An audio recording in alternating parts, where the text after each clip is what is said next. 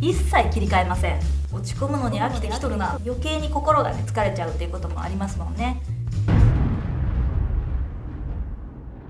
こんにちは。ベビチューブののんです。育児中とかもちろん普段の生活でもそうですけどなんかこう気持ちが落ち込むことって誰にでもありますよね。特に育児って正解が見えないからこそもう悩んだり苦しさを感じることもあると思います、まあ、そんな時にその落ち込んだメンタルをどう浮上させるのかモチベーションをどう回復させていくのかっていうのがやっぱり課題になってくると思うんですけど、まあ、もちろん原因がある場合はねあの前向きに解決していかないといけないこともあるかもしれないんですけどやっぱり気持ちが落ちた時ってこれ皆さんどうしてますか？感覚としては私の感覚としては深い海にこうゆっくり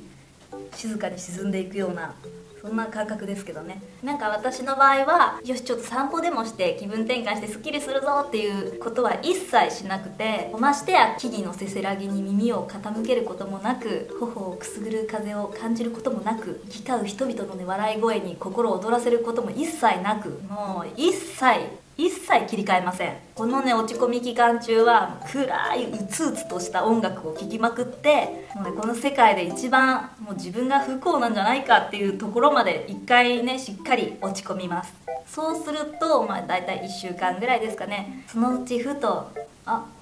落ち込むのに飽きてきとるなという瞬間がやってきて自然と回復していくっていうのが私の落ち込み対策なんですけど皆さんどんな感じですか？なんかねこう無理に切り替えなきゃって思うと逆に辛いみたいなところもありますよね。ママだからっていつも明るくいなきゃいけないとか子供の前では笑顔でっていうのもすごく素敵なんですけど自分の気持ちとは裏腹な行動しちゃうと余計に心がね疲れちゃうっていうこともありますもんね。私は落ち込むこともこれは次次に進むために必要な時間なんだというふうに考えるようにしていて無理にねモチベーション上げないようにしています。皆さんは落ち込んだ時どうしてますか？私の方法も別に正解ではないし人それぞれベストな方法があると思いますのでいつもみたいに是非参考にしてねって言って終わるわけじゃないんですけど言いがちですけどね参考にしてねって。私の場合は落ち込んだ時はこういう風にしていますということがあれば是非教えていただきたいと思います。それではバイバーイ。